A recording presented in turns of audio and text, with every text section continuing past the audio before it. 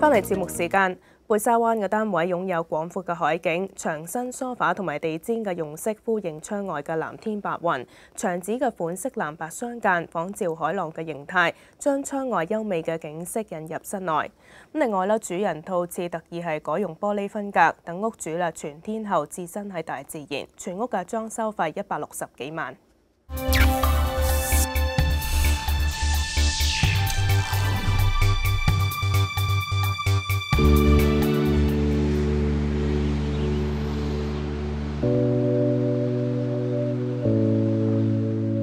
個單位咧，其實好多即係比較先天嘅優勢啦。咁一邊咧就係全海景啦，另外一邊都係內園景。喺做呢個 design 嘅時候咧，我哋都想誒有少少營造佢好似度假屋嘅感覺啦。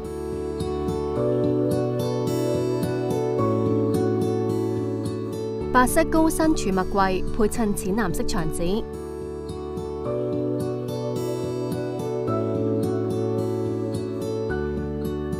天藍色地氈襯托灰藍色嘅梳化。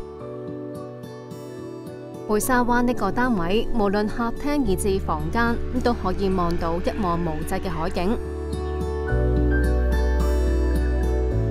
為咗呼应景色，室內特意用上深淺唔同嘅藍色同埋白色，俾屋主置身室內都仿如置身大自然。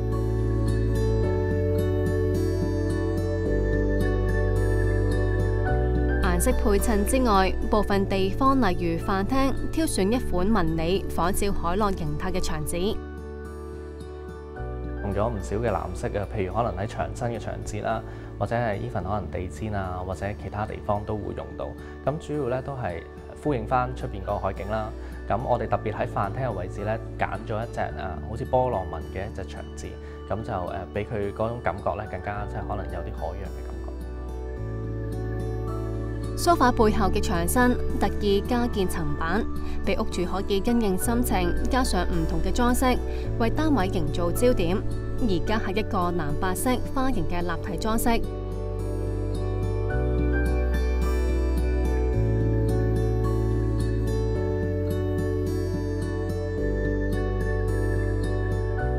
單位用色清雅，家私以簡約為主，灰色膠製餐椅、白色長形餐台、茶几亦都係全白色。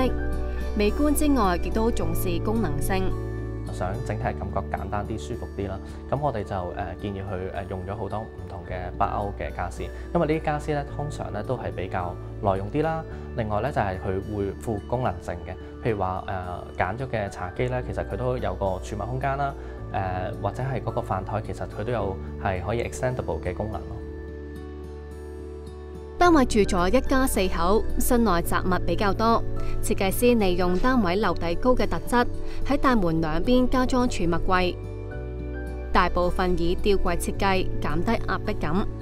全屋其實好多儲物空間，咁但係咧，我哋誒雖然做咗一啲大櫃，但係有時咧，我哋譬如話可能喺客廳、飯廳呢一邊咧，我哋啲櫃咧通常都係吊起咗嘅，咁啊令到嗰個壓迫感冇咁大啦。另外我哋喺個誒 color 上面咧，譬如話我哋都用盡量用咗白色，去令到誒整體嘅感覺唔會太過壓迫感。主人房同埋其中一間客房望廣闊海景。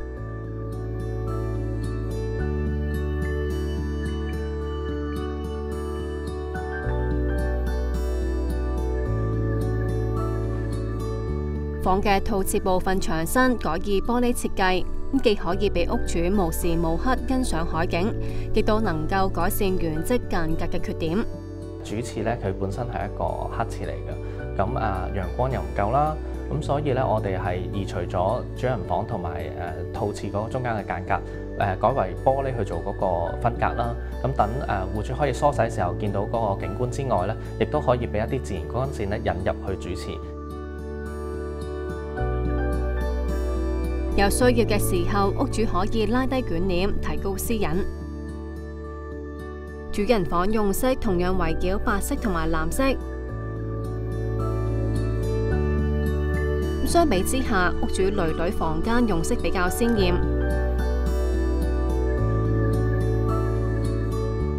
粉紅色係主調，配合囡囡活潑嘅性格。做咗高架床，下面添置梳化床，方便其他屋企人隨時留宿。